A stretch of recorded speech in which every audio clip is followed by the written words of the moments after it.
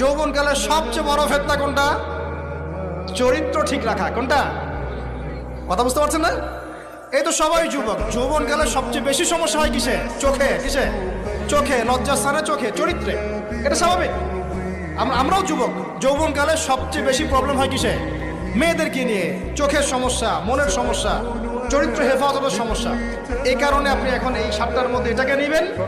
সেই ব্যক্তি আরও সে ছায়া ছায়া পাবে, যাকে কোনো মেয়ে ডেকেছে জেনার জন্য। সে বলেছে, আমি আল্লাহকে কি করি?